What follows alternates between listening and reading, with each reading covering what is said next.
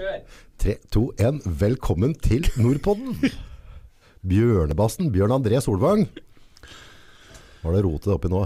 Nei, det er eh, det, det, er det er som alt annet jeg roter meg oppi. Det er, det er ikke rot egentlig, men så blir det rot. Så vi får, vi får bare ta oss om det Det kommer som det kommer. kommer. Ja, det kan ikke planlegge noe. Tidligere Norges sterkeste gubbe. Ja. Ja. Men da, det sto på plakaten. Sto mann. Stå man ja. Eh, en solklar norgesrekord i stokkløft. Stokkløft, det vil si at da er det jo en stålsylinder som ser ut som en logg, rett og slett. 200 kilo, presse over huet. Ja. Det er bøst. Det var, det var greit, det. var en god dag. Og, Mange andre i verden er det som har gjort det etter deg, eller før deg. Ja, nå begynner det vel å bli, uh, bli ganske greit, men fra 200 opp så begynner det å dette ta litt. Men Uh, 200 er fortsatt ganske respektabelt eh, sånn ute i verden generelt, vil jeg tro. Det er ikke mange som driver med det. Nei, det er jo de store gutta da, som driver oppi der og har betalt for å drive med dette da. Men eh, ja, er det, det er jo fem-ti stykk bare i hverdagen som driver med dette. Sånn. Ja, rundt 10-12 stykker kanskje, da. Rundt der en stand. Ja. Så det er liksom Det er Det er- mange, det som, er gjør det sånn- på, mange som Det er dette der, vet du. Mange som gjør det på trening og sier 'jeg har gjort det og jeg har gjort mer'. Men så kommer til konkurranse og bommer totalt.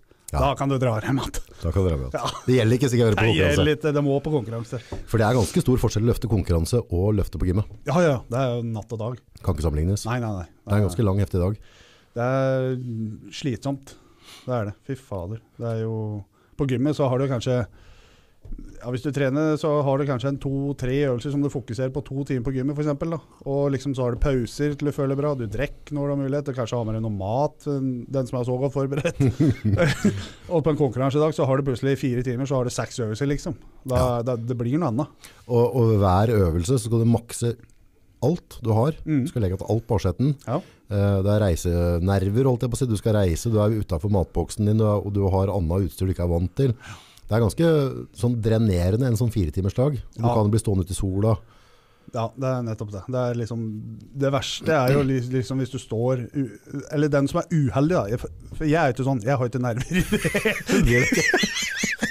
Hei, gutter. Står det klør i traktorrumpa di. Ja, og- og hva skal vi løfte nå? Jeg løfter litt på fingeren. Der klarer jeg. Da er vi i gang. Dette går gærent. Dette, gikk ti sekunder. Da. Ja, ti, ja, men det er sånn på soverommet. Men er du flink på noe, så går det fort. Det bruker ikke lang tid, vet du. Herregud, skal jeg bruke denne tida på å drive og klumre med at du skal gjøre det så fort? Ja, det er bare tull. Vet du. Ja, ja. Må få ting unna. Ja, får det smakk, smakk. Smakk, smakk. Dette blir seriøst, kjenner jeg. Ja, det, det. ja. Strongman, hva er strongman? For det, altså, jeg tror de aller flere Altså strongman Det hadde en periode som var ganske hot. Eh, på den tida Sven Karlsen blant annet var verdens sterkeste mann. Mm. Eh, og så dabba det litt av, ble litt borte. Og så hadde vi jo en liten periode da eh, Marius Pedanoski kjørte på. Da. Altså, vi har hatt sånn flere bølger Ja. der det har vært veldig populært. Og vært litt av og litt på i forhold til med TV. Mm. Men i den, det har jo vært en periode nå som har vært ganske bra eksponert. Ja, nå har det liksom begynt å komme seg, for nå er det liksom Det er jo Altså, når de hører Strongman, så forbinder folk altså, ofte med at det, det er så store gutter på to meter og kanskje veier 180-200 kilo som går med 500 kilo på ryggen og sånn, men det er jo andre vektklasser i tillegg. Men det folk finner ut av mer og mer nå, er jo at når de skal begynne å trene, så trener de gjerne samme øvelser som vi konkurrerer i Strongman. Ja. Og så finner de ut at å ja, jeg klarer jo dette der. Og så prøver de, så er de med på konkurranse og ser at dette er faktisk veldig bra trening. For du bruker jo absolutt hele kroppen. ja. Eh, Så etter min mening så er jo dette det beste treningsformen som er noensinne, med måte. Det spørs liksom hvor mye du skal legge på å kalve og skrike og bøye og hoie hei. Men Ja, ja, for det blir jo ødelagte kropper tatt der òg. Ja, ja, jo, det skjer det litt her og der. men det hører med, det. Så, Eh, altså det er, kan være type markløft, det vil si løfte vekta fra bakken og opp. mm. Dekkflipp, vikingpress, da altså har du stativ du presser vekter Mm. over huet. Logg, som du er veldig god på. Eh, York, ja, yoke er det. da går du med ramme og- på ryggen og løper av gårde. Da begynner det å bli Ja. noen hundre kilo på. Ja, da er det sånn, ja, sånn i Norge, toppen i norgesnivå. Det er liksom altså åpen klasse i Norge. Så er det liksom fra fire, eller 380 oppover. 380-400 kilo, gjerne 20 meter eller 2 ganger 15 meter. Og så du hufser med deg av gårde. Ja, du må liksom fly fortest mulig her, da. Det, det er rart ikke så kneet popper der. At du får et sånn feiltrinn der. Når du, for Ja, det er jo moment. Ja, det er det. Så tråkker du litt feil. Jeg har sett kneet gå på den merkelig nok én gang. Det har jeg sett en, der var faktisk en trønder på Det var mitt første NM faktisk noensinne. Ja. Jeg var York, og det var liksom rett før jeg skulle ut, så Vegard Gjerdrum, en god kompis av meg fra Trondheim, Ja. der eh, Har du kamerat fra Trondheim? Bekjente, da, unnskyld. Ja. Så det, går det, vel, det må da vel faen meg gå an å skrette ut noe av dette her, scratche ut noe av dette her opptaket her. da, Så. Bekjent, en bekjent en i Trondheim, da. Ja, Trondheim by. Trondheim by. Jeg var full på karsk og wienerpels.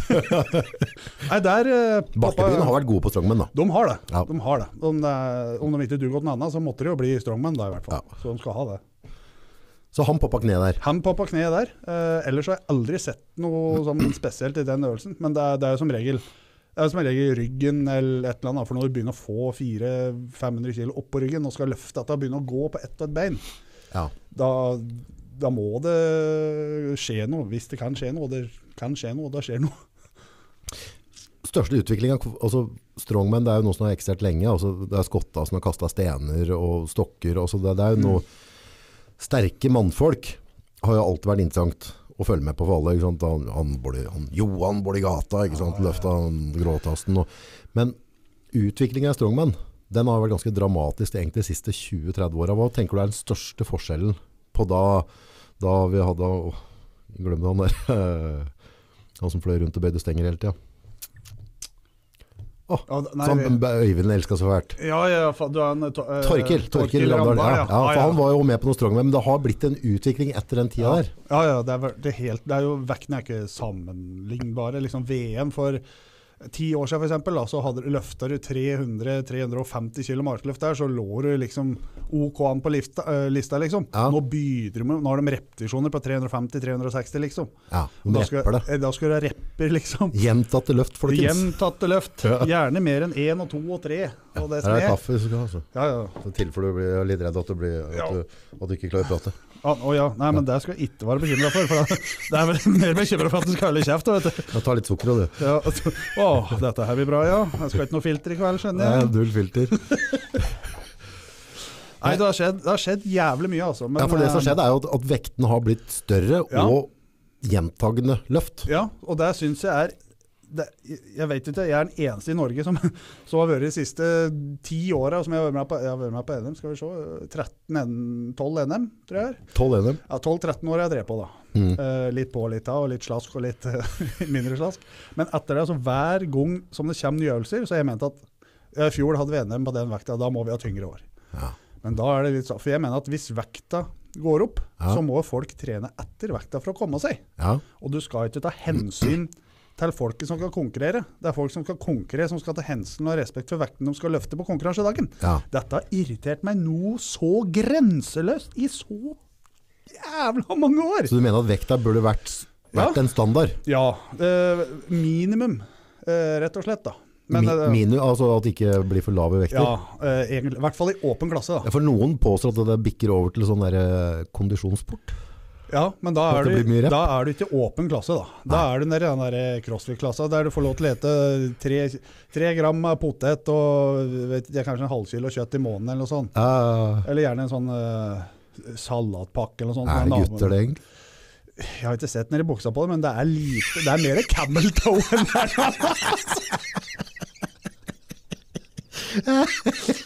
Oh, Å, jeg kommer til å tråkke på mange folk i dag, tror jeg. Det er godt vi sitter i andre etasje. Oi. Lett for å føle deg krenket. Sett Ja. deg det og lytt. Ja. Helt meg skru av nå før det begynner. Nei, så I boka di, hvordan burde et eh, NM-stevne se ut? da? Et NM-stevne, altså rett og slett eh, Hvis jeg skulle arrangert, arrangert NM nå, for Ja. å si det rett ut, da Da hadde jeg jo tatt i forbehold med hva som har vært de siste åra. Ja. Og jeg som er såpass inn i miljøet, da, så jeg kjenner Altså alle er jo venner med alle. Ja. Du vet jo hva sånn cirka hva folk løfter. Venner med alle. Det, det kan forandre seg etter dagen. bekjent. Ja, hittil Altså, jeg får si nå, da. Har vært. Nå har, har vært venn med alle. Jeg har ikke sagt noe navn ennå. Uten at han er bartetjukken oppi der, da, men ja. det være. Han er pensjonist allikevel. Altså, da vet du at de Altså Hvis det er tolv stykker på NM, Ja. så trenger du da, vet du at ni ja, av tolv klarer f.eks. 300 kg markløft. Ja. Og da, da går det til under 300 kg. Og du, da, da har du liksom, når det er ni måneder å forberede deg Mm, mm. tre, Hvis du makser 300 kg, og du har ni måneder til å forberede deg til NM Ja, Hvis du da kommer på NM Ja. og makser 300 eller 305 kg, ja, da har du enten en dårlig dag, ja. eller så etter min mening så er du jævla dårlig på det du driver med. Ja. Hvis du, da liksom, det kan hende du er dårlig akkurat den øvelsen, eller noe har skjedd noe. Mm. Men da bør du, hvis du har den dårlige øvelsen, da bør du perse i noe av de fem, fire-fem andre øvelsene. For du kan ikke komme og, si at du bommer på alt du har gjort det bra på trening, for da har du bomma. Ja. Så det må være et minimumskrav. Jo tyngre vektene blir, jo tyngre trener utøvere, jo Mm. større blir de, jo sterkere blir de. Det er, er så enkelt som det er, liksom. Ok, så du vil at du du syns det er for små folk i, Yes. i miljøet? Du skulle vært Nei, altså det, er- det er som ligger bak. Er, du må huske August, at jeg er en sånn kjernekar fra bygda, så jeg bryr meg ikke om åssen folk ser ut. Det er det indre, så, det er det indre som teller. Så, så det viktigste er bare at du løfter mest og skriker høyest.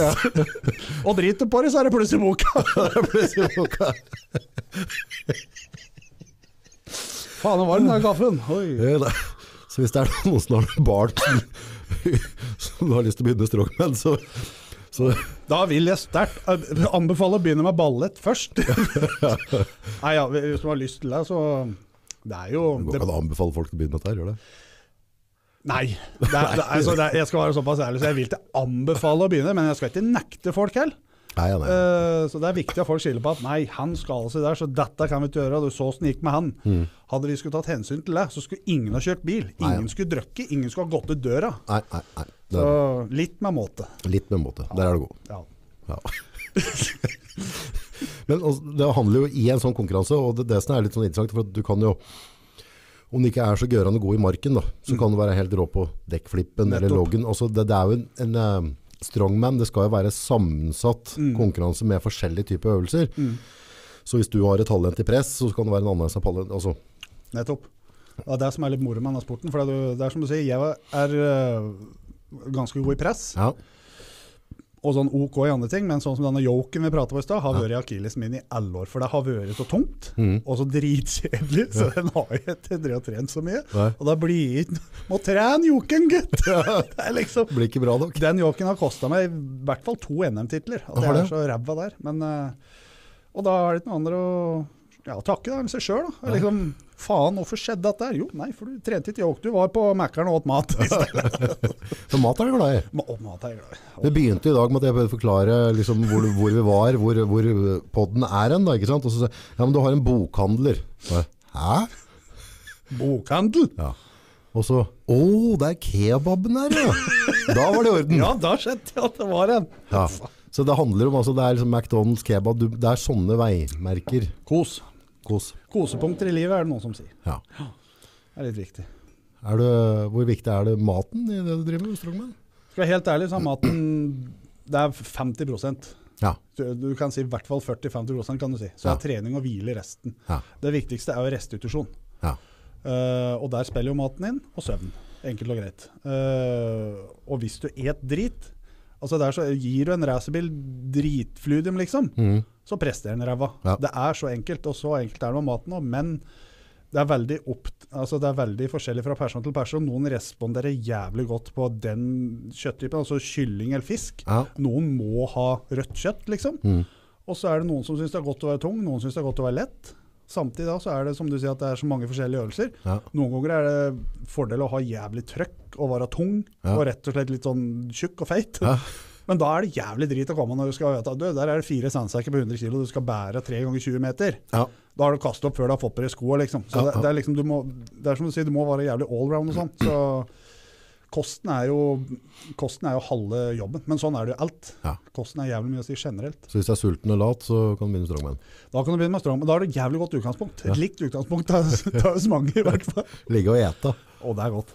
Ja, Gå på restitusjon, da. Men, men uh, jeg har jo sett deg tidligere, så, altså når du var yngre da, så var du ikke så sås på maten kanskje. Har du merket at har, er det mer og mer viktig jo eldre du blir? Ja, det er eh, Kroppen? trening, søvn og mat. Det blir desto viktigere jo eldre du blir. Ja. Jo mer juling kroppen får. Ja. For før så kunne du være ganske hyppig på Mac-eren.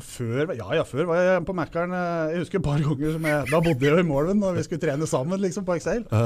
Og da, liksom, da var jeg for sein ute, for jeg er gjerne litt sein ute. som generelt. Da var det full pupp fra Målum før nye E6-en kom, vet du, og setevarmer på fullt. Ja. Og dundre inn, og der var jo treningskompisene var i gang med 300 mark. Da var det bare å smelle på seg beltet av remen og dra 300 kall, vet du. Ja. Så begynner folk å spørre faen, skal du ikke varme opp, da? Jo, jeg har gjetter på Mækkern og på drive-in, og så har jeg sittet med setevarme på full guffe, så det var, blir ikke varme i ryggen i meg, liksom. Jeg har gjort dette i dag. Altså, det har ikke skjedd noe, for du har ikke fått flytte fra gulvet omtrent. Nei, nei, nei. Men eh, Nei, så det har vært litt sånn opp igjennom, ja, litt sånn morsomme ting. Har det. Ja, for det, du har jo forhold til uh, måten du trener på, da. Uh, jeg er jo, som alle andre, er veldig opptatt av at, at det, har, det er en stor porsjon genetikk. Mm. Du må, altså, no, en genetikk må være på plass, men genetikken er ikke alt. Altså, det sitter jo, og jeg tror den største genetikken er hva du har mellom øra. Altså vil, hvorvidt du tenker på vekten og hvordan, altså, det har noe med genetikken å gjøre med strongman, absolutt. Det er ikke bare nødvendigvis muskelcellene dine da. Nei. Men du, du har jo vært begava på det her. Og, og hadde du vært i et proffmiljø og kjørt et, vel, et, et stramt regime i 10-12 år i strekk, så kunne du vært helt der oppe på verdensbasis og vært med på det store. Men du har jo hatt, liksom, hatt perioder som du har vært jævlig på, veldig flink. Mm. Så har perioder som på en måte har andre ting som har eh, engasjert deg i livet. Mm. Og det er naturlig, sånn er jo livet. Ja. Men det er det som er utfordringa når du driver på så høyt nivå som du har drevet. Uh, Men fortsatt så er det ikke profesjonelt. Du må, Må enda et hakk til, liksom. ja, altså, altså, du må ut og jobbe, du må ordne og styre og stelle, og så skal du på en måte Det må være litt sånn frustrerende når du føler at du lukter på de store vektene og de store konkurransene, og så ser du at liksom, hadde jeg hatt mulighet til å bare ligge og sove og ete og fått betalt for å løfte vekter, så kunne jeg dratt det ett hakk videre. For du har jo genetikken, både mentalt og kroppen, til å være helt der oppe. Jo, det er mulig, men sånn, liksom, er min erfaring de siste åra, eh, eller generelt, er at For jeg har jo prøvd, jeg, der skal jeg si at jeg har jo prøvd absolutt alt som er av mat, program, kosttilskudd, alt mulig liksom opp igjennom. For du får en del erfaring når du har trent i 15 år, 15-16 år, liksom. Ja, ja, ja. Eh, og det viktigste uh, tipset som vi kan gi folk, da, hvis vi skal gi gratistips, da, hvis jeg hører meg på dette, så, oh, for jeg tar ikke betalt for alt, gjerne vips hvis det er noe. Nei, men det viktigste er at du må finne måten som fungerer for deg. ja. Eh, og liksom ikke, for guds skyld, ikke være redd for å prøve ting. Nei. For det er det viktigste, for du må luke ut forskjellige ting. Og så finne ut dette funka for meg, så prøver en ny ting som funka for alle andre. Nei, dette funka ikke så bra. Da går det tilbake. Og dette tok meg jævlig mange år å finne ut. Mm. Uh, men som resulterte i at jeg ble oppi der jeg ble. Ja. Uh, og som du sier Skal ikke jeg drive og skryte på meg sånn, men hvis, det er som det, hvis jeg hadde hatt et proft miljø og ti, ti år og sånn, og, og bære være stram og ete maten som jeg skulle, se og noen som har gjort det, liksom få betalt Ja, det kunne nok ha blitt annerledes, men samtidig så hadde det ikke vært meg. Nei. For jeg har hatt, eh, hatt det jævlig godt opp igjennom. Dette er uh, noe jeg ikke ville vært foruten. Jeg ser jo til Hvis jeg kunne gjort om ting, så er det jo det. Men ehm, Men har du drømt om det å kunne vært proffatlet? Ja, ja. Jeg, jeg var jo der da jeg var yngre, liksom, da jeg drev og satsa på det fulle. Når det var hadde litt skyggelapper, da. Når de ikke hadde all infoen på bordet, liksom. Ja. Når jeg trodde det var uovervinnelig, og liksom, hvis det kom et tog imot og begynte å tute, så står det og snøfta liksom, bare så vidt du gitt av togbanen. Og jeg tenkte faen og du mener for noe, kjører forbi her 500 tonn. Ja. Faen, meg var, Brr. faen skjer meg, greit at de bare sparker etter spor her. Men jeg har det travelt, jeg skal på Mækkern og ete. Nei, altså, var liksom Når jeg var yngre, så var det sånn. Uh, og da Du har en litt annen setting i huet og sånn, da. Men eh, nei, da, da, da tenkte jeg at det beste hadde vært hvis noen hadde betalt meg sier en årslønn da, rundt Mm, mm. 350 000 da, på den tida, liksom, og bare fått ete og sove og sånn. Jo, det er greit, men du, du merker det de gangene som jeg har prøvd, at eh, når jeg var yngre, så det må jeg si når jeg satt seg, liksom, så sjukmeldt hjemme fra jobben jeg hadde. Ringte sjefen og da, det, da Jeg da jeg sa jeg hadde brøkket beinet eller hva faen det var. Jeg var så dritunge vet du, på den tida. Og men så var det, så ringte det, jeg brøkket beinet, og så ble sjukmelding. Og, Og da drev jeg på et par måneder, så skulle jeg trene som F. Ja. Og det funka jo noen uker og sånn. Ja. Men poenget er at du trener jo kanskje to timer om dagen, og resten skal du sove og ete. Det gikk bra en periode. Og så liksom begynte det å dabbe og stange litt, og så bare ble du trøtt og skeiv.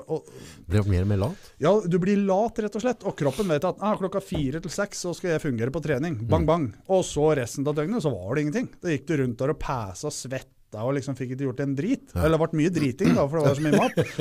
Men altså, så for meg så funka ikke det så jævlig. Men du ser åssen disse gutta sånn gjør nå. Altså Eddie Hall og Brian Shaw, Haftor og sånn. Mm. De gjør dette der, men de sitter ikke hjemme hele dagen. Nei. De har egne firmaer, de er på stands. altså Det går ett hele tida. Ja, no, da- Da tror jeg det kunne ha gjort, for da er kroppen i aktivitet hele tida. Ja. Men du kan ikke komme og si at det er noen sport, i hvert fall ikke strongman, som kan si at du, her har du en halv million i august. Nå Bruk det på det vil, men nå skal du inn NM om ti år, liksom, så Ja. vi skal betale ti år, en halv million i året. Ja. Så kan du gjøre hva du vil. Du har jo ikke klart å trene i to timer og 70 på ræva resten, vet du. Du, Nei, hadde nei, vært du i- det. Ja, Ja, sant. Sant. Så jeg, jeg tror nok ikke det, men ja, det hadde nok vært annerledes hvis du ikke hvis du ikke kunne gjort det. Men en fysisk jobb når du driver med dette her, det er alfa og omega. Oh. Ja, ja, for jeg har det er, For min del så merker jeg stor forskjell på det, for jeg jobba i If som forsikringssvindler. Nei, forsikringsselger! Da, da. dagens reklame er spons. Ja, da satt jeg vel oppe i gata her, da. Dagens program er i samarbeid med If Forsikring. Vi dekker det meste, men ikke når det gjelder. Hvis det er noen som har lyst til å være med og sponse showet, så er det bare å ta kontakt med Ja. den. så skal dere få knasende gode Ja, reklamer. fryktelig godt reklame. Nei, ja, så, men, men da hender det som er reklame at da må jeg jo prøve det de har å by på først. Ja, ja, ja. Ja, så hvis det er noe borddel som ringer, så da, da må vi ta det litt under bordet. Nei, ja. Jo, jo, var- var litt saklig igjen nå. Nå er vi voksne. Ja, nå er vi voksne. Sånn. Hvor var vi igjen nå, egentlig? Det var, var eh, fysisk arbeid. Jo, fysisk arbeid. Ja. Det er noe dritt. Nei, for altså, vi har, vi har en felles Godt eksempel, da. Vi har jo en felles kompis som vi ikke skal nevne navn på. ja, gjerne det. Ja, han driver med sånn bruktbil og diverse. Oh. Ja, ja, ja. Sitter på Riddarbrua. Ja. Ja, og så Tom Vangen er det ja, etter Ja, der, og der var det, ja. ja. Ja. Nå var det du som sa det, ikke jeg, så da må det ha saksøke deg som sa navnet hans. Ja. Men uh, Tom er jo Altså, der snakker du genetikk ute Altså Ja, ja, det er ute av, Det- det er ute av proporsjoner. jeg tror, ja, men eh, Helt ærlig tror jeg ikke jeg har sett maken. Ja, husker du da Calvin uh, Neff, han amerikaneren, Ja. var og trente eh, med oss på Da begynte han å få et potensial. Fytti faen. Og han, altså, Ja. Calvin var jo på pointen med mat og alt. Altså, Dæven, han steika, altså. Ja, men da var det Tom jobba Mm. sånn som han gjør hele tida. Tom har jobba i alle år, litt mer enn de fleste. Ja. Men da, altså Og sånn, Greit. sa Svetteparve. Fy svette, ja. Fy faen. Altså, jeg skal tilbake til dette, men det er et par historier fra USA. Skal jeg, svetting, ja. Men altså, når Tom da først gjorde noe i tre, Tom økte like han på de tre månedene som det vi gjorde på kanskje tre-fire år. Ja. Og enda, når liksom Calvin Roth, når han ble alene, så begynte det å dabbe litt ned igjen. Og, og det er noe opp til Det var forskjellig fra person til person. ja. Men det er liksom Tom sitter jo på, er jo et unikum, for han sitter jo hele dagen. Han Ja. er jo litt ut og inn og ut og gå, men sitter mye hele tida. ja. Det gjorde jeg når jeg jobbet på IFO, Mm. og så skal du trene etterpå. Mm. Det fungerer veldig greit for Tom Mm. å ete og sånn. For meg fungerte det ikke i det hele tatt. Nei. Men sånn som nå, når jeg driver og skifter vinduer, monterer varmepumper, er jo Norges beste varmepumper. Har knallpriser på det, bare så dere vet det. Ja. Og så Er er det det rabattkode her, eller? Ja, du monterer varmepumper nå? Ja, ja, Ja, ja. da må, vi må ha plug-in etterpå. ja ta det. Frystek. Prat med Bjørn. Han heter ikke opp fort som ja. Men det er liksom For har du en fysisk jobb, og er kroppen er vant med å være aktivitet, sånn moderat aktivitet som jeg kaller det, som Mhm. snekker og varmepumpemontør, og så dreier du på trening og kjører ut kroppen som F, Ja. Da er det restitusjonstida som teller etterpå. Ja. Da er det restitusjon. Folk tror at ja, nå skal jeg trene seks dager i uka. Ja. Jo, det er kjempefint, men de seks øktene, Mm. antall timen, antall kilo, den påkjenninga du har gitt kroppen, da, Mm. hen skal restitusjon være så kroppen din skal bli bedre. ja, ikke sant. For det er det som skjer. Du river Ja. og filler kroppen, og så kan bygge opp igjen. Hensiktsmessig er å trene for at du skal bli bedre. Men for at du skal bli bedre, så må du gi kroppen restitusjonstid for å hente seg inn igjen. Da jeg trimma, så jeg, falt jeg på da jeg fikk mest økning, var tre tunge dager og én lett. Mm. Og, og øktene mine var på maks 45 minutter. Ja, og da, Kroppen min tåler ikke mer. Eller altså, tålte, da, da ble jeg ikke noe sterkere. Nei, dette er så individuelt. Så jeg synes det er bare Jeg har hatt best effekt nå de siste åra. Da har jeg trent tre mandag, onsdag, fredag. Ja, gode gamle. Ja, og det, det er liksom splitt. Nei, jeg full dagsform slash Ok, ja. dags, Humør. ja, humørsplitt. Humørsplitt. Og jeg har alltid kjørt Hvis det har vært i dag, ja, i dag eh, liksom kjøre, kjøre press. Ja. Ja. I dag er det ikke noe press. Nei, men da kjører vi litt der. Og så plutselig Nei, i dag er det bra futt i marken. Og da kjører vi på. Og da tenker jeg at da, da skal vi kjøre marken så mye at den må jaggu ha en god grunn Mm. til å varme igjen neste gang. Og det er mange ganger jeg har kjørt eh, til failure og sånne ting, og kjørt meg helt i bakken. Mm. Så sier folk at ja, men du må øke og bla, bla, bla. Ja, men da får dere øke så mye dere vil, sier. Eller, sånn gjør det liksom. Og det har fungert for meg i såpass mange år, da. Ja. Når jeg liksom har x antall pallplasser på NM og vunnet tittelen NSM og vært nummer to og tre i Champions League internasjonalt og sånne ting, da, Har det funka for deg? da har det funka for meg, Ja. i hvert fall. Så hvis du vil sitte der og kjøre på 30 din på en mandag, 75 på en torsdag og runke en liten biff på en fredag, da får du jaggu gjøre det. Ja. Og kose deg med det. Du sier som Rema 1000, det enkle er ofte det beste. Ja. Så du bare hører på kroppen. Er det sånn intuitiv trening, er det det man kaller det? Enkelt. Kroppen som bestemmer. Ja. Har du dagen i dag, så kjører du på. Ja, for problemet er jo den dagen du skal ha mark, hvis du ikke har mark i kroppen da, den dagen, Mm. så, så kaster du bort en uke trening. For det går jo ofte en uke til første, neste gang du skal ha mark, og hvis ikke du leverer en god trening der, så, er, så har du kastet bort en av ukene dine på det oppkjøringsåret på en eller annen måte, så det er bedre kanskje ta den dag, markdagen når du føler for det, Ja. og så gjør du det skikkelig. Alt går etter feelingen. og Det er liksom sånn hvis du vet at er mange, sånn som jeg gjorde før, jeg kjørte mandag, tirsdag, torsdag, fredag. Da var det bryst, og så var det bein, og så var det mark, rygg og sånn. Var fast hele tida. Da visste jo kroppen Kroppen er så mer tilvenningsdyktig enn det folk tror. Ja. Uh, og da liksom visste jeg at eh, på, på mandag klokka øh, seks, da var det omtrent 250-300 kilo i knebøy, liksom. Da, Ja. da skulle det makses, liksom. Og da var han klar for det. Før og etter det fungerte jo ikke kroppen noen ting omtrent. Nei. Så det var liksom Ja, og da Finne balanse. du må finne en balanse, og du må, trø, du, du må liksom tørre å liksom trå til og prøve å feile for å bomme på et løft på gymmet. Det, er, har, det har ikke noe å si om du bommer på vekta ti ganger Nei. på gymmet, for det er bedre å bomme ti ganger på gymmet, ti treninger på rad, enn å bomme på konkurranse. Ja. Så det er i hvert fall det jeg fungerer. da. Så folk er så veldig redde for at jeg skal dra meg ut, og du drar ikke ut på et stokkløft. Hvis du, hvis du bommer, da fullfører ikke løftet, for det er ikke sterkt nok. Du har ikke ødelagt noen trening da. Nei, nei. Ja, mener jeg da. Ja. Ja, om det er håndjobb. Skal du styrke, så må du jo presse deg ut da. Ja, Det er jo sånn du blir sterkere, at Ja. du løfter ting du egentlig ikke kan å løfte. ja, det er jo Det er litt sånn, da sjokker du kroppen litt da. Ja. Men samtidig, så jeg ser jo på en måte logikken til veldig mange andre også, som trenger smartere da. Men jeg tror, det, jeg tror det passer bedre i bodybuilding, for hvis du har bygd opp et visst type volum, Mm. la oss si altså, du har bygd opp, da, si at du, du stiller på 105 kg på stena i form. Du har det volumet, og det er der du ligger, så er du i posisjon til å begynne å trene smartere, og begynne å tenke litt prosent og sånne ting, for da, er det snakk om bare småshaping og holde, holde formen. Mm. Men fra å komme fra 70 kilo opp til 105 kilo konkurransevekt, som da er egentlig 130-40 kilo rått, uten, uten å være i form, du kommer ikke dit på å være snill. Nei, det gjør ikke det. Du må liksom altså, For å si det sånn, det er en brutal sport. Ja, visst er det det. Så det, det er ikke noe å legge skjul på der, Liksom. Så det er liksom Det er jo ikke for alle, Nei. men samtidig så er det for alle å prøve. Uh, så det er jo helt greit, men uh, Det er litt vakkert å huske før på gamle. Det, var jo litt temperatur på treninga og aggresjon. Ja, det og- var jo det. det, det var, folk som sitter og hører på det, tenker 'Å, herregud, for noen vimser'. Ja, da tenker jeg bare at det skulle bare visst. Det er bra det ikke er filma mye av dette her, vet du. Fader, nei, det var, var bra temperatur, men det var liksom Det var mye gøy, da. Ja, det var Og høying og skriking. Ja, nå din stakkar og løfta, gitt. og- Klarer ikke å løfte at jeg kan dra hjem igjen og få putt av mål. Ja. Og- Husker du en bau? Bau. Brr. Bra løft dette her, da. Ja, løft dette her, og så lø- altså, vidt du klarer det. Legg på 20 kilo, ta den på ski. Det er liksom ikke, da, er det prosentmessig. Ja. 400 på maks, liksom. Klarer La ikke dette all. Nei, faen. Må gjette mer. Pepperkaker. Pepperkaker er bra. Du, se, se. Der, eh, hjemme er pus. Se på en pus. Se på pus. Han digger den. Nei, var På den tiden her så drakk vi vaniljesaus og sånn før Laos. oss, for Ja, ja. noen kalorier. Det var ganske drøyt. Ja. Gjorde faktisk det etter trening og sånn. Ja, ja, vaniljesaus. Ja, jeg husker det drev med lenge. Det var Ja, ja. fine greier. Det var skikkelig ålreit, det. Fy fader, er mye rart enn det med før, før i tida. Det var Hadde, hadde mjølk rett fra gard, og det drakk fra sånne Ja, jeg kammer og sånn. Ja, jeg dro på dekkloven og henta. ja, jeg fikk det. Fy faen. Gurgla innpå. Å, det var så mye vitaminer og sånn. Jeg savna Mau litt, egentlig. Ja, jeg gjør egentlig det. Merker det. Ja, Dau, han. Ja, men dau. Det var drist. Ja, det var egentlig det. Ja. Kjære vene. Det var, Ja, men han var med egentlig å skape litt miljø rundt, for det, det var jo alltid noe styr rundt den da. Ja, det var alltid så var det. Men du la merke til det, spesielt på konkurranse, sånn som når jeg konkurrerte sånn, litt eh, sånn eh, her omkring og sånn, litt sånne småting. Mm. Og publikum var litt sånn forsiktig med å klappe og litt sånn. Men en gang eh, Øyvind kom liksom i greia, da var det litt Jøssa meg, så publikum begynte å og Så ikke på oss, vet du, som konkurrerte. De så på at Øyvind som stod der Kom Kan vi løfte faen skjermen?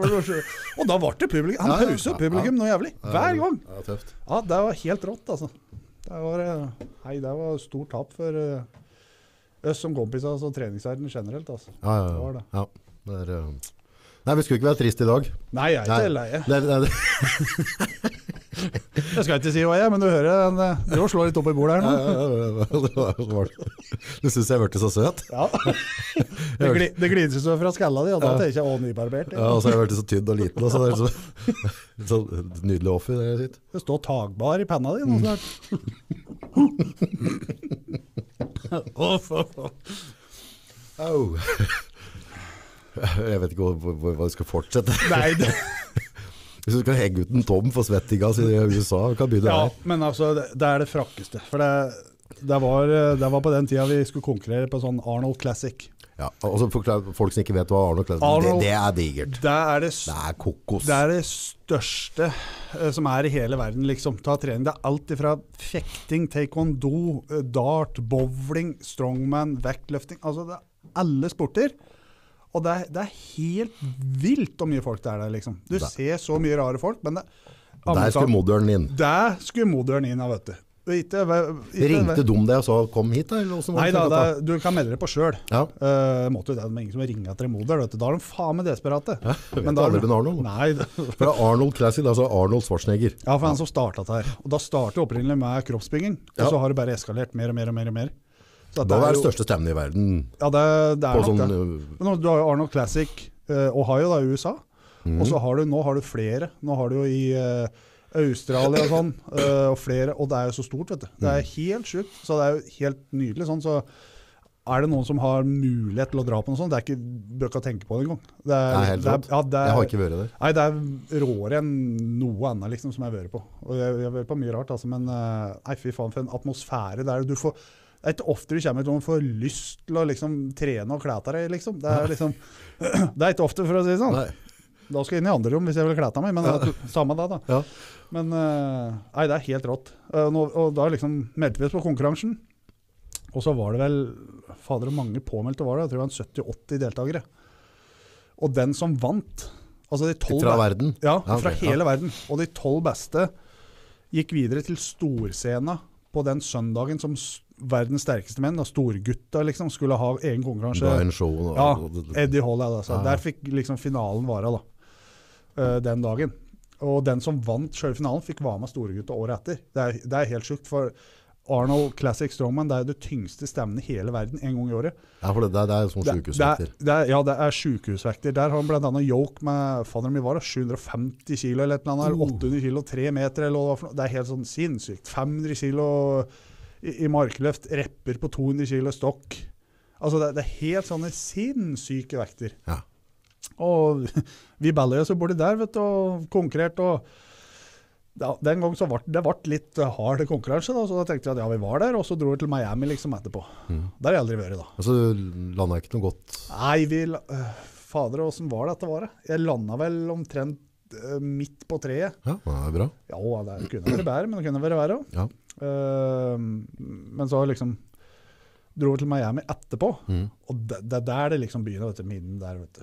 Der, mm. Nå kommer minnene. Åh, jeg vet liksom ikke. Spørs hvor lang tid vi har på klokka her, men det åh, går tilbake til glansdager der. Ja. Men tilbake til Tom, da. Han var jo veldig glad i, veldig glad i å trene og ete og sånn. Ja. Han var en jævel på å ete. ja, best. Ba- ba- Var best på eting. Ja. Der var han. Men problemet Det råeste det var jo det var, det var meg. Jeg hadde en sånn soveseng. Vi leide suite i Miami, vet du. Ja. Og da var det fire stykker på rommet. Mm. Det var meg, så var det Tom, og så var det Ole Martin Hansen og Stian søskenbarn og Tore Martin. Ja. Der lå vi gutta, liksom. Og så skulle vi liksom ut etter middag, men da skulle Tom dusje først, da. Så lå Ole Martin og Tom i hver sin enkelseng da, ved sida av hverandre. Ja. Jeg lå på en sånn sovesofa tre meter bortafor. Og Tom gikk i dusjen da, og og dusja og ditten og datten og vet da fader om du gjorde det. Så kom han ut igjen, splitter naken, da, men det er vi fløy nakne hele helga. Vi har da sett wienerpølser før. Så, og liksom kommer innpå der, og da plutselig klikker telefonen av sånn gammel Nokia, vet du. Ja, Nokia. Driten. ja. Han skulle aldri bytte den. Han, nei, den var så gull. Og så drev han jo på den tida, vet du. Tom hadde jo mer damer enn deg. jeg hadde mat på fatet, vet du. Det var mer damer på telefonen hans enn jeg hadde riskorn på porsjonen min. Det samme det, da. Så begynte han å stresse noe jævlig, for da var det sikkert noe som gikk og klusse om i den der. Så demonterer han av telefonen, vet du. Mens han står der kliss naken, så legger han telefondekselet sånn i senga. Ja. Og så setter han seg ned, så har han på seg sokka. Og når han reiser seg opp igjen etter to sokker Husk at da var han nydusja, altså. Ja. Da reiser opp da var han faen meg like Da skulle han kom ut av dusjen, var han dritbløt og bæ seg som faen. Og begynner å sette seg med telefonen. Da finner han ikke at dekselet på telefonen. Nei. Bakdekselet. Oh, fader, har du sett dekselet mitt? Og så snur han seg du, mot Ole Martin, kliss naken. Og ser du Ole Martin Hansen reise seg opp i senga, peke mot rævla og nesten kjører fingeren inni, vet du. Så snur jeg meg der, ut av ræva, feite ræva til denne bilselgeren for Ida, men der står telefondekselet. Jeg har sett i rævskinka, og har ikke merka at det sitter fast. Fy faen. Det verste er at han bare Han fikk ikke tilbake, han klarte ikke å få. Han kom ikke tilbake. Nei, han fikk den ut, og Ole Martin måtte dra ut ræva på. Så var han like glad, takk, takk, og sette seg på telefonen og begynte å skrive at, vet som ingenting har skjedd. Å, fy faen. Altså. Det telefondekselet der, det er en egen uh, historie i livet, vet du. Åh. Ellers når du, først med reise, du har jo reist og, konkurrert litt rundt omkring. Det har jeg gjort. Ja. Er det noen minner som har festet seg der, liksom noen turer som har vært Ja, det er ganske mye, egentlig. Det er, jeg har vært heldig sånn sett. Eh, jeg vet ikke om, jeg har ikke telt over hvor mange land jeg har vært, egentlig, men jeg har fått reist ganske mye. Jeg har vært i Kina, det husker jeg veldig godt. Ja. Der var jo verdens sterkeste mann. Oi. og det var jo veldig kult, egentlig, for der klarte jeg det ene året å kvalifisere meg, faktisk. Ok. Og det var litt moro. Da var vi i Kina. eh, og det var litt moro, for da husker jeg vi hadde eh, Det var så mye TV, så det tok så lang tid mellom hver øvelse Ja. og varmt og sånn, så gutta satt i skyggen. og, og jeg drev og vimsa rundt der, vet du. og drev fløy litt på stranden og bada og sånn. vimsa rundt, det tok ikke så lang tid, vet du. Ja. Og så står vi ute i sjøen der, vet du. Så det er bare ti meter bortover. Jeg var jo på stranda, liksom. Ja. Next up, uh, Solvang! Solvang, sier de. Der står jeg vet du, ute i sjøen der og driver og skal vaske ta med, og, eller driver og med ned. da. ja, det var fint, da. Og flyr oppå der, da, og så begynner å ta tak i stanga. Ingenting. Tenkte jeg, kjempebra, Solvang. Nå har du gjort det. Ja. But no, no, five minutes. Å ja, nå fikk jeg fem minutter til å gå og skifte og varme opp. Og skulle begynne å liksom kjøre repetisjon Nei, dra lastebiltrekk var det der. da. Ja, ja. Men det gikk jo bra, da, for lastebilsjåføren var vel omtrent dritfull, den kineseren. Så hadde jo bremsen på til de andre, men han hadde jo tatt meg, så jeg var jo nesten eneste som fullførte. så jeg så jævlig bra ut, vet du. ja, ja. Men der var han jo så. Tidenes trøkkpull. Han glemte å ta og, Ja, for det hang på, bremsen hang på at jeg slo jo Haftor og Eddie Hall og sånn, vet du. Og det. Ja, ikke sant? Du kan glise Gikk godt. du det. hu på det, da, eller? Bitte litt. Bitte litt. Var litt kjed å ha med høre på Ja, fy faen, da kunne du bare prøve det. Jeg skulle faen meg vise deg hva skåpet skulle stå da? Hva er Nei, det? Nei, det, det, det var fint da, vet du. Og det som var moro etterpå, var at vi fikk noe sånn eh, Det var noe sånn der mat, et eller annet greier, altså vi åt det, men alle ble jo rævdårlig. Men det var på slutten av dagen. Du tålte det sikkert. Nei, jeg tålte ikke el. men jeg åt mindre enn de andre, ja, for jeg skjønte at her var det noen muffins. Ja, ja. For jeg laga mye drit før, så jeg kjenner jo drit. Ja. Så skulle vi på dass. Så gikk vi på sånne toaletter borti her, vet du. ja Og hadde opp døren, så satte vi på et toalett, og så hører jeg en haftor, vet du, fra Island. Er, What the fuck is this? There is no toilet here! Just hole in the ground! Og det, det er jo flerkulturelt nede der vi var, vet du. Det var jo bare sånn der høl i bakken, og det var møkk utafor, rundt hele hølet. Altså Greit at de ikke skal sitte på porselen, men de må jaggu klare å drite ned i hølet, men det var møkk utover alt! alt Og der skulle han islendingen drite, da. i hockeystilling. Ja, men han gjorde det ikke. Altså, han dreit vel i en annen dass, tror jeg. Jeg gliste og så gikk ut igjen, for jeg turte ikke å vente på om han skulle bli sur han ikke. Det er en diger gubbe. Han er diger. Ja. ah, fy fader. Men eh, ja, maken til snillere type. Da. Det er veldig rolig og var det type? Ja, veldig bedagelig. Altså. Kanskje Jeg- like greit? Ja, det, det er greit at han ikke var som vi var når vi var i 18-20-åra. Da uff, Uff. Det var kjett. det hadde vært kjett, ja. For, alle- for alle rundt. Ja. For han, tror jeg, men vi hadde ikke hatt så mye med. Men sånn, er, det er, for det er, når du ser så digre gubba på TV, og du ser du, å, det er diger gubbe, men når du ser dem i virkeligheten, det er jo... De er enda større. ja, for jeg tror jeg eh, møtte, Erland Brain. Så, møtte han og, og helste på han, heter. Og jeg er jo sånn normalt stor i neva, liksom. Det, det var som jeg gikk i barnehagen natt og skulle helse på en tømmerhugger. Ja, det er Folk tror det, liksom- de ser bilder, og han ser jo stor ut, men når du møter den i live, liksom, det er større enn du forestiller deg. Ja, hele neven hans bare Ja. gikk rundt, altså jeg bare forsvant inn i Ja. hånda hans.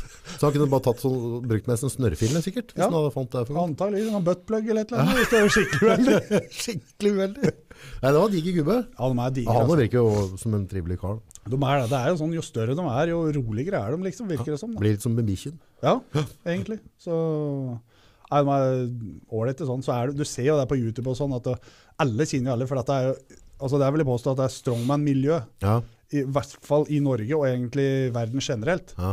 er det beste miljøet som er i noen som helst sport. Det er jeg sikker på. Det er, det er ikke maken til noe annet samhold i noe sport som jeg har sett. Hva mener du? Ja, du, du kommer liksom på, hvis- hvis kan du tenke deg, du har trent som fader for å nå målet ditt da, i fem år f.eks.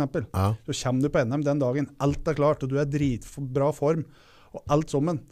Eh, og alt klaffer, så har du f.eks. én øvelse som er at, som kan avgjøre om det er du vinner, eller om du kommer på tredjeplass på et NM, liksom, som du jobber for i fem år. Ja. Så har du glemt, for eksempel, da, glemt belte, eller Ja. kritt, eller et eller annet. Ja. Da er du egentlig fucked. Ja. Da er det elleve andre konkurrenter som står i kø for å låne det utstyret dit. liksom. Ja. Det er ikke noe snakk om. Til og med han som du kan slå, han er liksom gjerne dum først ut. da, for Ja. Det er sånn der. Sånn er det hele tida, dette miljøet der. det er koselig. Ja, det er eh, skikkelig T-selskap, dette her, noen ganger. Ordentlig T-selskap. Ja, det, Ja, det det. Ja. Andre land har konkurrert i? Skal vi se, jeg har vært i Kina. Kina. Så kineseren rart på deg når du kom gående rundt der, eller? For tung var du på det tyngste? Du, du var jo ganske drug. Ja, jeg var drug, men da hadde jeg akkurat uh, drevet og deffa litt, og sånn, så da var jeg ikke så tung. Jeg var 117-18 kilo eller noe sånt bare der. Ja. Så bra ut, men var litt svakere. Ja. Eh, men de glana jo fryktelig når de store gutta kommer. Det, det er jo som å møte en sånn ungdomsgutt, da, vet du.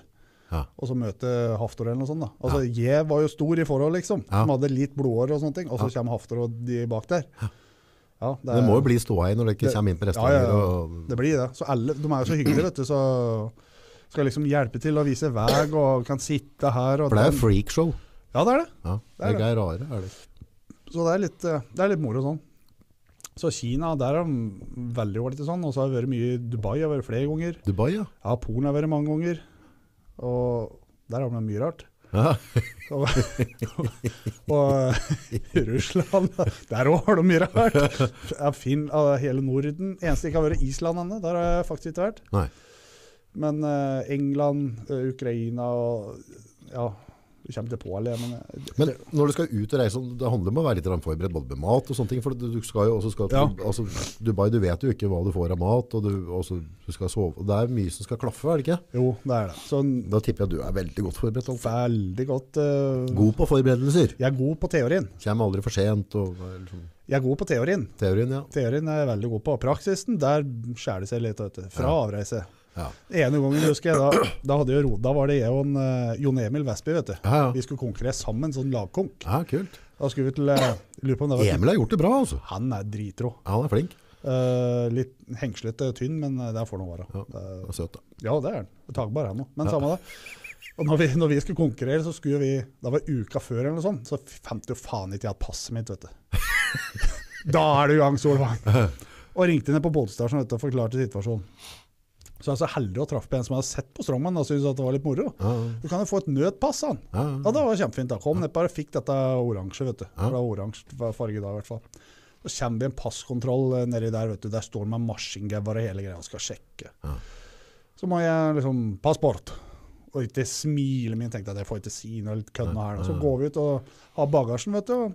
Skal ha passet. Viser noen Emil sitt. Så sjekker jeg bagen. Der ligger jo faen meg originalpasset mitt. Så viser jeg begge passa. Det må du faen ikke gjøre! Så når du kommer på grensen her med to pass, og det ene er meldt stølig eller borte, tapt! Det var jo, Jeg husker ikke hvor lenge vi satt innpå her. Jeg satt innpå her i avhør, og en som sa «Sjøbrød, sjøbrød», Dere pekte på dette passet. Jeg bare You speak English? Ja, klør i ræva, tenkte jeg. Jeg skjønte ikke en dritt, han sa. Kom det en til, vet du. Og liksom sa at det, i Norge er det sånn at du får et nødpass. Måtte jeg faen meg google og sånn, vet du. Så, Mm, Ja, ja, jo, Ja. måtte de inn der og så sjekke opp litt, og da fikk jeg gå, men jeg tror jeg satt der en times tid. Ja. Og så kom det til at Jon Emil stod, han var jo aldri vært så oppgitt som han var da, til å riste og riste på det. Det skal litt til da han blir oppgitt, faktisk. Eh, ja. Han tar livet rimelig med ro. Ja, men altså, nå står det med maskingevær og alt der, da. Ikke noe særlig å drive og kødde her, tror jeg. så, så da satte vi oss i bilen og kjørte videre. At det var liksom, nei. Hvordan gikk den konkurransen? Eh, ja, åssen gikk den? Altså? For Emil konkurrerer egentlig minus 105, Ja. og er Norges sterkeste er han ikke det? Jo. Jo. eh, Men han har også vært med og konkurrert i åpen klasse. ja, han har vært med åpen Har gjort det bra der òg. Ja, han har gjort det veldig bra der òg. Han har talent. Ja, han har talent som fader. Han er rask, vet du. Ja, det er, det Han, er, han, han er ikke tar i aller sterkeste i maksstyrke på visse ting. Men så kommer det på sånne flygeøvelser og sånn, som må flytte seg, da. ja, ja. Da er det jo sånn derre Jeg tror han gikk Birken her òg. Ja, altså, han er bare sånn Ja, men han får sånne innfall. Han derre 'Jeg kan gå på ski, ja. Ikke gå noe Han kan gå Birken, da, så få teste litt. Ja. Altså, der er vi, vet du. Så nei, han har nok uh, fløyet på, han. Så han er sprek, han, altså. Mm. Det er han. Så Ja, han konkurransen der. Gikk det Vi kom Skal vi se, de som vant eh, han, Det er, som er litt moro. Det var jo to på lag, og Emil. Og han ene, som heter Novikov, Ja. Han er jo blant verdens sterkeste nå. Å, Han er jo skikkelig up and coming. Jævlig bra, liksom. ja. Så er han ikke like diger bjønn som de andre. Nei. Så det er litt moro. Uh, men vi kom på var det var fjerdeplass eller et eller annet i laget. Sånn. Vi har slått av dem, og så har vi slått av jeg tror det var USA og Finland som slo oss. Ja. Så tenkte vi at finna ble jo godt kjent med Dem skal vi ta på kvelden. Ja, ja, på drikkinga. Ja, Ja. der Gikk det på en smell. gikk på en smell, ja. Men Emil er ganske god på drikke. Ja, men Så det er en jeg, bra lagkamerat å ha med seg. han var god å ha med der, ja. Ja. Så, men jeg, jeg gikk og la meg ganske tidlig, for jeg kjente at dette her blir moro Du jeg skal sitte i en sånn bil og jeg skulle kjøre noe jævlig langt. Du. Jeg skulle kjøre noen gamle veier, for jeg skulle noen grenseoverganger og, og drit og møkk. da. Mm. Å, fy faen, satt bak den der gamle Passaten som var, sikkert var kappa fjøren fra 1980-tallet eller et eller annet. Han sjåføren vår, så han utlendingen, han satt og skrev i telefonen hele veien. Ja. Og røkte. Fy faen, som en skorsten. Var som å sitte på med skibland der omtrent. Å, fy faen skinn, altså. Jeg var, jeg var glad jeg ikke drakk. Men han var jo bedre form enn meg han, dagen etter. Ja, var det? ja? Ja, ja. Ikke noe problem. Nei, fy fader. Dagens ungdom. Ja, det det får en si. Det, nei, dette var et unikum, altså. Nå er det gøy å få de der opplevelsene. Det er jo kult med også NM og ikke minst det gullet har der over alle plasseringen, men, men uh, første gang du reiste ut og var med og konkurrerte liksom strongman utlandet, for alle vi gutta på gymmet da, mm. hadde jo lyst til å være sterke. Uh, men vi hadde ikke kanskje det som skulle til for å, for å kunne gjøre det, eller vi hadde ikke det. Uh, og, så det var liksom en sånn der, eh, dette er en skikkelig guttedrøm da, å pakke baggen og reise til det store utland og løfte tungt. Det var jo det. Ja, Det er jo fortsatt det. ja. Så Nei, det, jeg husker faktisk ikke den første konkurransen. Det må jo gjøre etter dem, bare fy faen, dette her. Da får du blod på tennene, ja. Ja. For å si det sånn. Den, jeg, den konkurransen i hvert fall. Jeg husker ikke helt hva det var, men det var da jeg da kommer du på et sånt felt da, vet du, når du har trent hele livet. Ja, Så får du en sånn mulighet. Da er det et veiskille, liksom. ja. Enten så bare tar du det som erfaring der og da, Ja. og så når det kommer igjen da, så er det sånn der, nå vet jeg at uh, du må oppi der, liksom, ja. Ja. Da vet jeg at da er det bare tilbake, og så begynne å skrive, liksom. ja. ja for, for skal vi inn på den mørke siden. Ja. Uh, når vi snakker om strongman uh, i det store utland, altså de store, tunge klassene, Mm. dit kommer det ikke uten steroider. Nei, nei. Du, det, det, det er bare ikke å lure seg sjøl, ingenting. Nei. Altså, kan jo av en av en milliard kan det hende er en født med noe sånn genetikk Mm. ut av Det får noe så være. Men det er så enkelt som at det er, det er så enkelt, mener jeg, da, at det, vil du bli best, så må du gjøre det absolutt alt for å bli best. Da kan du bli best. med det er dermed sagt at du blir best allikevel. Men Nei. alle vet i bunn og grunn. Men folk, folk misforstår litt, for de tror at det, når du skal trene for å bli stor og sterk, Ja. så, så er det bare å putte til seg steroider, sånn, så blir du stor og sterk. Mm. Steroider er i bunn og grunn laga for å korte ned restitusjonstida. Der er vi inne på restitusjon igjen. Mm. Folk tror at når setter du sprøyte, så blir du haug og ligner Ja. på en crossbygger. Det er ikke sånn det fungerer. Nei. Du må liksom, og det er jo på, på markedet nå, du ser jo det er en million forskjellige prep. Det er så mye rart, vet du. Ja. Så liksom, du må jo ha med deg huet i tillegg og alt sammen. Og da, liksom, da må du velge. Da, og du, skal bruke, du får jo noe eksempel, som du kan Ja, du får alt fra tabletter til ting du kan injisere muskulært. Noe skal subkutant, altså bare i fettvevet, liksom. Og du får noe for å bli stor, noe for å bli sterk, noe for å få bedre pust. Så det, det er jo så enkelt og greit. Strongman er som alle andre sporter, bare at vi holder ikke skjul på det, nekter å, å benekte sånn. Nei, nei, nei, nei. Sånn er det ikke. Altså, Jeg går med 700 kilo på ryggen, men ja, jeg har men ikke jeg gjort det. Nei, nei, jeg spiser bare biff. Eller Mækkern, da, for å si det sånn. Da. Ja, biff det, er ikke, det er ikke sånn det fungerer, og det skjønner folk. Og, og det, det folk må være klar over nå, eh, det du sier her nå er ikke for å lage en reklame, det er, ikke noe anbefaling at dette er Nei. lurt å drive med. Slettes ikke. Det er det ikke. Bare så har det helt klart og tydelig. Men, men det er realiteten. Hvis du er der oppe, Ja. så er det en del av gamet. Da er det en del av gamet. Da er det en grein som du rett og slett må på for å komme et hakk videre. Ja. Og det er eh, Så enkelt er det. Så da må du velge om du vil på den greina. Det bestemmer du sjøl. Ja. Enkelt og greit. Hva folk gjør, det er for å si sånn, jeg har nok på meg feie for min egen dør. Ja, ja, Hva folk gjør og ikke gjør, da får det være opp til dem. Ja. Så, men, men det er som du sier, skar opp i toppen der, så, så, må du, så må du bruke et eller annet for å korte ned eller eh, finne de svakhetene liksom, og gjøre noe med det. Mm. Som ikke klarer. Men, men eh, det er jo hvordan folk skal være klar over, altså, spesielt de yngre da, som, som, som tenker på det. Altså, nummer én så, så er ikke det noe også, Det er ikke noe glupt å drive med. Nei, Nei, det er altså, det, det, er, det er bivirkninger, det er farer ved dette der, så, så Mm. det, det hersker du ingen tvil om. Eh, men det finnes måter å drive med det som er mer fornuftig enn andre, så klart. Mm. Men poenget er at løsninga er ikke ti ei sprøyte. Altså, du, skal ha, du skal ha genetikk for å kunne bli så sterk. Mm. Eh, Du skal ha nok år med trening på ræva før du i hele tatt bruker noe som helst. Veldig viktig. Og du skal kunne lære deg å ete fire ganger så mye som alle andre, og skal spise sunt oppi det hele. Mm. Det er så vanvittig mye, så den biten her er en veldig, veldig liten, Ja, veldig liten aktør. da. ja. Si at den utgjør 10-20 Ja, men der er vi da, som du sier, 10-20 er nok ikke så ille, men det er da de oppe i verdenstoppen, Ja. eller som skar oppi der, som da velger å gjøre den biten der. Ja. Og det er liksom Men jævla dumt hvis du driver på et lokalt gym, da, og så, og så har du lyst til å prøve å få 100 kilo benken, og, og, og smelle i deg varer som Nei. verdenstoppen driver med, det er bortkastet. Det er bortkasta Helse, energi og og- penger, eh, rykte, føle, følelse, alt som en sånn. Eh, så Ja. hvis du har lyst på det, liksom, så får du heller sende meg en melding på Facebook, så skal vi hjelpe deg en, en renere vei enn dette der, i hvert fall, hvis du skal ha 100 kilo benk eller noe sånt. Ja, for det, for det er jo det som er problemet med steroider, er at er, eh, jeg tror ikke de profesjonelle brukere, da, hvis man skal Mm. kalle det det, dem, dem har gjerne folk rundt seg, satt seg inn i dette og, og lever et liv som, som er bakt rundt det. Men problemet er jo på en måte når det er 16-17-18-åringer som driver på et lukta, lokalt uh, gym, Mm. og så skal de bare være litt i bedre form, og så tror de at løsninga er gjennom piller eller sprøyter, Ja. så er egentlig løsninga egentlig bare riktig mengde trening, søvn Mm. og mat. Ja, det er sant. Og når du er i den alderen der, Ja. så tar det mye mye kortere tid for å få resultater som du har lyst på, enn hvis du er i alderen våres da, Mm, og skal gjøre det, f.eks. Ja, ja. Hvis du steller på samme premiss, da, for å si det sånn. Ja. Eh, så, så Nei, altså Det beste, helt ærlig, det er hvis det ikke er alle sporter i hele verden. Skal ikke Men det er, det er mye mer enn tru. Om det er i, i sporter, i dagliglivet, for ditten og datten, der får det være det samme.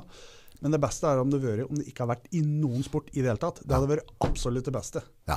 Men For da er det likt for alle. da er det likt for alle. Men, så- i strongman er det likt for alle, for jeg vet at alle bruker det likevel. Nettopp. Så det er, og det er som du sier at, I hvert fall i toppeliten. da. I toppeliten så er det sånn. Mm. Uh, og da er det mange som sier at i toppeliten Ja, men uh, for eksempel eh, ja, han, bruker, han bruker så og så mye, så da blir han så og så sterk. Og så, ja, men når du er født så, som det er to, to meter og fem høy og veier 150 kilo før du begynner å trene Og målet gikk ut til hofta, gikk du ledd når jeg fødte deg. Nettopp så Ja. ut som ræva på en gråta, som vi var inne på her i stad. Ja, ja, ja. Da, da har du et annet utgangspunkt enn en som er sånn Hei, jeg heter Olav, jeg, jeg benker 25 kilo, jeg skal bli verdens sterkeste mann. Ja, Altså, det blir litt forskjell. gjør det. Så du må Du bør ikke ha svartmale alt, men du må ha et åpent sinn og være ærlig med deg sjøl. Være realistisk. Realistisk er Ja, veldig ja, viktig. ja. Det er det. Så jeg har jo vært med i den treningsgreiene litt Mm. tidligere, så jeg har jo har mine erfaringer rundt dette der. Og jeg vet at altså, hvis ikke du Samme hva jeg hadde putta i meg av varer, altså samme hvor mye sprøyter jeg hadde sprøyta inn i kroppen, og tabletter, jeg kunne spist tabletter til nyren, hadde hoppetur og skreket, Mm. så vil jeg aldri klare å løfte de vektene du har løfta uansett. For jeg har ikke den bygningen, og jeg har ikke den strukturen og styrken og den genetikken. Mm. Så, så du, du får ikke kjøpt deg dette der. Enten så har du det, eller så har du det ikke. Nei. Ferdig. Det er så enkelt. Det vil jeg påstå. Så ja, men at jeg Du var inne på han Tom Vangen. Han et seg digert på kneippbrød. Ja. sant? Vi andre går med diaré da. Vi skal spise litt med Og kneip. sju liter mjølk om dagen, da. helst tåmjølk, da, for der var det mer metthetsfølelse. ikke sant? Ja, det var det samme du dytter borti den. Det var Ja. sånn, sånn griskno. Ja. Kverna det til seg. Ja. En halv ribbe og en sekk. Ja. så alt bare gikk rett ned, og så voksen uansett. Han gjorde det. Men dette er, genetikk. Det er én til en million som vi var inne på i stad. Det er Så- ikke mange sånne. Så det hadde vært moro å sett der, og sier, ti år med sånn eh, Men det er én til to, da. Hadde han hatt noen leger og teamwork og så tre, coacher og sånn, så, og som hadde holdt den igjen, Ja. det hadde gått bra. Men hvis han hadde kjørt på sjøl, Ja. da røk jeg av tvers. Tvert. Han må gi seg løftet så tungt snart, da. Ja! Faen, han er da snart pensjonist. Jeg tror han er, hvor mye er det? 63 år nå? Ja, han ser, ja, det er mulig han er 63. Hvis du googler ham, så er han vel 63, men han ser ut som han er 75. På en god dag, da. Han kjører ny Audi eller noe sånt. så Kanskje blir ikke sett eller noe. Så er, det er vel snuppa som gjør han eh, attraktiv. Vet du. Ja, ja, ja. Han, så, det er hun som gjør han ung. ja enkelt og greit. Det er dama som er fin. Det er dama, dama som er fin. Ja, ja. Ja, ja. Katrine er en fin jente. Hun er fin jente. Så har jeg litt mellom huet, så å, hun ser i ham, det skjønner jeg Vi hun må være medlem i Blindeforbundet. Nei, ja. Nei, nei. Det, og vi må gratulere, de har jo fått en vakker, vakker latter. Nydelig datter. Meget godt gjort. Det, Der igjen, Katrine. ja, det heldigvis. Da må vi gi en applaus for at, det, at Tom har fått til dette. her. Har banka på så mye, men har sikkert gjort feil.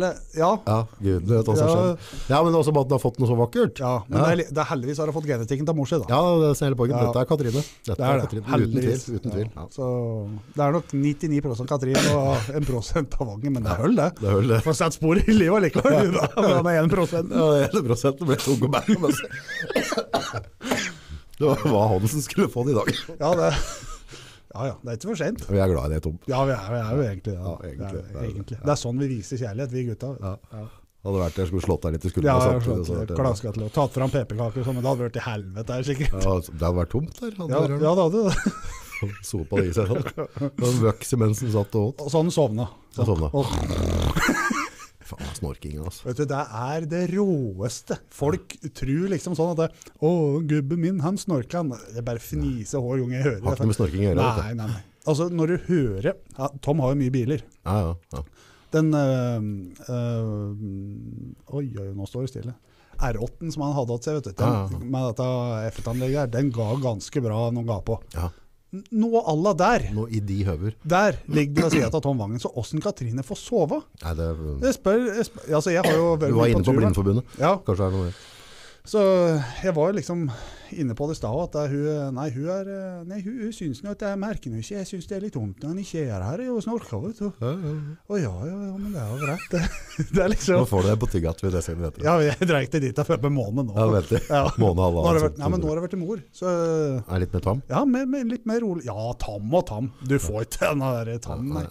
Men uh, du klarer ja, Hold du litt avstand, da. Det litt avstand. Tom, altså, det, det, er- det er jo et beist av et mannfolk, da, men uh, vi var jo henta mye biler. Han driver med bil, men jeg har vært med og hentet mye bil i Tyskland og sånne ting.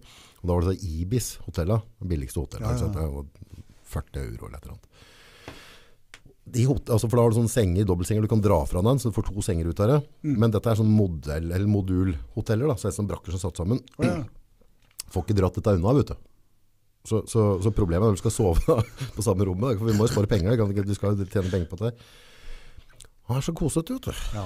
ja. Og nå liksom det er 140 kilo med vangen, tagger rundt deg og slenger låret rundt deg når du skal sove, og ligger og snorker deg i øret, det er drukt, altså. Ja, det, Det er en av de mer traumatiserende opplevelsene jeg har hatt, altså. ja, jeg tror ikke jeg har hatt den, men jeg kan se det for meg. Ja. Ja, og vipper til den av med albuen, ikke? Stopp med det. Da blir nesten sånn... Da blir den tent, den da, vet du. Nei, han blir litt så fornærmet, liksom. Hm, hm, Jeg? Vil du ha meg? Ha meg? Tror du jeg kan få noe bære ja? ja jeg kan bare gå, da. Du har ikke stoppet helt for henne? Nei da. Jo, pratet Eh, trening òg. Ja, pratet litt trening òg.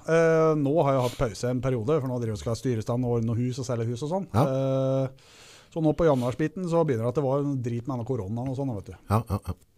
Så Den har du sansen for. Den har jeg som får, vet du. Den som er alt annet. Men det som var litt moro, siste stand jeg var med på, det var jo i eh, Skal vi se, det var i Samar. I 12. juni. Ja, Det var oppe i Sogn, eller oppe i Gaupne, som det heter. ok. Det var Sognegutta Sogne-gutta der. Jeg har en strongmanklubb, eh, kompiser der òg. Og det, er- det er faktisk et veldig ålreit folkeslag, de oppi der. Veldig fin plass. Skal være ålreit nå, jo. Ja, nei, de var uh, overraskende mye bedre enn disse Oslo-folka, men samme det. Ja. Uh, var, eh, når det var konkurranse oppi der, det som var litt moro, var at jeg hadde brukt noen uker på å forberede meg. da. Ja, Eh, Et men par uker med trening, liksom. ja, det var noen flere. Så ja. var nok oppe i en par, seks-sju uker eller noe sånt med ja. trening. Men samme det. Uh, og når jeg kom oppi der og konkurrerte, så ble det jo slått Ja, rett og slett. Men uh, han var bedre med, og da syntes jeg det var litt moro, for han hadde jobba så jævlig for det. Kim. ja. Uh, og han er veldig ålreit òg, så det var litt moro å bli slått av en sånn som er litt ned på jorda og sånn, da. ja. Det som er litt moro, da, det er jo at uh, morgenen etter så sendte jeg en snap til meg. ja. Søndagsmorgen, liksom. Vi var på fest på kvelden, og morgenen etter sendte jeg en snap til meg med, sånn, snap med, med pokalen sin. 'Har du en sånn en, du, eller?' Så førsteplass står der, vet du. Ja. Jævlig gjøken. Setter jeg snap tilbake? Nei, men jeg har denne, sa jeg. Det var bilde av meg og lillesøstera hans.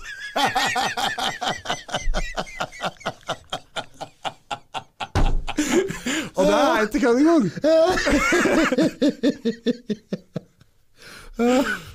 Så Nei, altså. Så jeg vet ikke dere som vant. men jeg vil nå si at det var jeg som gjør, gjør det best. eh, Og kom best ut av dette her. Det er stygt, vet du. Nei, det er ikke det. Beste miljø ever. ja, det- Uten tvil. Bare send unga inn i strongman-greia. Dette her For en rekruttering! Ja da. Men det var som jeg sa, koselig folkeslag. Så ja, men det er jo resultert at jeg er jo sammen med hun òg. Så, okay, så var det ikke noe sånn der eh, tøm og røm eller tømmerloffen og poffen og poffen, sånn som de sier i gamle dager. Det var ikke, var ikke helt Vangen, da, for å si det sånn. Så det var jo, det er jo fint, det. Så det var eneste konkurransen jeg Går det var an å med på. poste dette Oliver? Du sa ikke noe sensur. Du får bare gi et sånt flagg. Da. Rødt den som skal roe ned, og grønt så er det bare kjør på. I sånn lokfører som sporer. Uff a. Nei ja, så det er, men det er jo, kan glise an nå, men det er jo realiteten da nå. Ja, det er realiteten, det. Ja, ja. Så jeg skal faktisk oppå der i morgen tidlig. Jeg skal pakke bilen og i kveld, og så skal jeg dure oppi her og smelle opp raketter og Ja. fyre av raketten sjøl, kanskje. Jeg vet da. Det er sånn at nå blir sikkert de hører på dette her. Fy faen. Ja, Vi, beklager. vi, vi får sende etter å dri drive hjemme. Ja, send det først i januar. Uff, nei. Ja. Men nå skal du begynne å trene igjen. Nå skal jeg begynne å trene igjen. Ja. Uh, og da, for nå er liksom Jeg er veldig sånn at når jeg har drevet på en stund, så blir jeg blir lei. Ja. Og hvis jeg er lei og ikke har lyst, Ja. da drar jeg ikke på trening. Nei, Folk sier at ja, men det er bare å dra og gjøre litt. Jo, det er mulig, men jeg er sånn Da bruker jeg tinga på en annen. Ja. For jeg vet at når lysta da kommer igjen, Mhm. så er jeg tre, tre ganger bedre rusta til å begynne igjen enn bare gå rundt der og jokke og dra i disse snorene og sånn. Ja. For meg så har ikke det noe hensikt, syns jeg. Da Da kan du bruke ting på noe, tida på noe annet du har lyst til å gjøre. Ja. Men nå er det klar. Nå begynner jeg å få skikkelig lyst igjen, for nå, forhåpentligvis så roer det seg litt grann til sommernatt. Mm. Uh, Så nå skal det ikke bare ha søstera, du skal ha pokalen også? nå, nå tenkte jeg skulle ta pokalen nå. Nå har jeg fått søstera, nå ta pokalen. Vi får ta det var litt folkelig nå, da. I verste fall så tar ikke han ta bror min, men da får det være hans problem. Ja, så er vi skulds. skuls. Nei, så Hva, hva, hva, oppkjøring? Hva er det du ser fram til? Hva, hva, hva skal du oppnå nå? det er, eh, nå i år så er eh, I fjor så ble det ikke meg på NM, for da merka jeg at jeg hadde for liten oppkjøring. Ja. Uh, og jeg ble ikke i den formen. Hadde- Men klart når det begynner altfor seint, så er det min egen skyld. Men da valgte jeg å si at jeg blir ikke god nok. Som jeg, jeg orket å stille i 70-80 Nei. Eh, Så da stilte jeg ikke. Uh, men i år så har jeg veldig lyst, og jeg, det jeg har sett for meg, er at Kall det blir et lite comeback, da. Det gjør kanskje, jeg vet ikke. Men uh, hvis jeg vinner NM igjen nå, eller en- det som er målet, er å vinne NM igjen i år, Ja. da tenker jeg at da kan jeg begynne å finne på en annen. Ja. For da har jeg liksom vært med mange år, fått første, andre, eller andre tredjeplass i så mange år. Så fikk jeg første, så ble jeg borte igjen, så kom jeg igjen, fikk søstera, så ble jeg borte. Så kom jeg igjen og vinner igjen. Da har du gjort det greit, syns jeg. Da, for det begynner, det er ikke noe å legge skjul på at det er liksom Alderen har ikke så mye å si, men jeg merker at det- det er liksom ikke samme givende. For du skal ha litt mentalitet for å liksom ete maten hele tida, stå opp om morgenen, gjerne gå tur før frokost. Eh, litt sånne ting, og, så, og, og trene og sånn. Det, det tar på deg. Det er mange andre ting i livet jeg har lyst til å gjøre i stedet for. Ja. Men dette gir meg så mye glede, og, det, og pluss at miljøet er som det er. liksom. Det er drit, altså, nå er det jo, Før så var det jo spenninga med løfting og trening og sånn. Mm. Nå er det jo konkurransedagen og møte gutta dagen før og kvelden og litt sånn. Ja. Så ja, det er det jeg setter for meg i år. Så du går for NM? Jeg går for NM i året. Ja. ja, ja. Så da Nå tenkte jeg skulle begynne til januar, og da har jeg vel den lengste oppkjøringen jeg noensinne har hatt i karrieren. Jeg tenker likte jeg. godt i gang. Ja, ja, så nå er jeg mer enn Jo, men kroppen Ja. husker godt, så du kommer fort på at du, det har du Ja. visst før det. Ja. Så jeg regner med at jeg må i hvert fall en par-tre måneder tenker jeg, for å være oppe igjen på før jeg kan begynne å bygge videre. Da. Ja. Så det blir til det jeg gjør sjøl. Fucker opp nå, så er det min egen skyld. Ja, Slik som det var, liksom. Men da valgte jeg å gi meg. Så da ga jeg NM-plassen til Jonas Baten, er fra Sogn ennå for øvrig, men det, han får da lov til å ha den og vifte med flagget. Ja. Og nå sitter han sikkert og hører på og sier at å, dette er bare piss. Da får han bære synes. Han pisser jo mindre enn deg jeg spytter, så det, det er liksom Er det noen andre du har lyst til å tråkke på for å ødelegge litt der før vi runder av? Nei, jeg er ganske Jeg har gått ned såpass i vekt, så nå bikker jeg vel Jeg tror jeg bikker under, under 30 kg, så det er ikke så mye jeg kan tråkke lenger. nå. Nei, nei, nei. Tung var det på tyngste? Tyngste jeg har vært, var eh, Hvor mye var det? 143,5, tror jeg Jeg, kom jeg skulle prøve 100, 145. Det kom ikke så tungt. Nei. Men klart, når jeg var 140 pluss, så er ikke det kvalitet. Nei. Da er det litt sånn McDonald's-opplegg og Ja, gjennom sånne ting. Men eh, det får nå bare være. Ja. Eh, god og rund. God, det er mer å ta i, mer å være glad i, sier hun. Enkelt og greit. Ja, ja, ja, faen. Det blir artig å følge med. Vi burde nesten hatt oppdatering og så høre hvordan det gikk opp i, opp i Dalum etter den der runda her. Egentlig burde jeg posta dette på uh, nyttårsmorgenen, holdt jeg på å si. Så, liksom, Ja, eller aften. ja, Bare så jeg er sikker på at vi får, uh, får opp stemninga der oppe. ja, det burde egentlig gjort det. Ja. Nei, men det, jeg står i det. Jeg står for det jeg har gjort og det jeg har sagt. Jeg, så det, Verre er det ikke. nei. Jeg skal nå jaggu fyre raketter, jeg. Ja. Jeg skal kjøpe meg med raketter. Du har ikke pinneraketter nå, så blir det bare kjett nå. Ja, det gjør det. Det er litt synd, dette. Men det er kanskje like greit òg. Altså Nå når jeg er såpass gammel, nå skjønner du alvoret i det, men jeg husker da jeg var yngre. vet du, Kjøpte disse rakettene, setter dem i postkassen, og naboen sprengte jo postkassen Ja, ja. vet og sendte mot biler og sånn. Ja. Hadde noen sendt en sånn mot meg nå, vet du, ungdom, de sier at kua har vært kalv. Ja, ja. Den kalven har faen ikke blitt gammel da har fått en rakett i frontruta. Var du sur? Ja, jeg hadde blitt litt sånn. Jeg hadde nok ikke rista, men jeg hadde tatt den med hjem til foreldre og sagt du, han der guttskjorven din, han er litt for lik meg nå på den alderen så må du ta tak før det bikker her. Nei, helt konge. Ja. Du, tusen, tusen takk for praten. I like måte. Kjør oppfølging, dette var godt. Jeg trengte å flire litt innimellom. Det er sånn det, når, du har, når du har en podd, så har du masse forskjellige typer gjester, og, og, Ja. så, og noen ganger blir det mye sånn tunge temaer, så jeg, jeg trenger mer humor. Må flire litt, det er litt viktig. Ja. Det har jeg virkelig fått gjort i dag. Ja, men det er bra. Det er bra. Det er stas. Regner med at lyttere håper Ja, Hvis de ikke flirer av dette her, så da vet jeg ikke hva problemet deres er. Da, da mener jeg at da er de like ubrukelige som en kondom i et nonnekloster, hvis de ikke gliser dette her. Ferdig snakka. Ferdig snakka. Brr. Brr. Husk å, å, å like og dele er på Facebook, og gi oss noen meldinger på Spotify. Glad for alle som følger oss på Spotify. Det er vi. Ja. Tusen takk.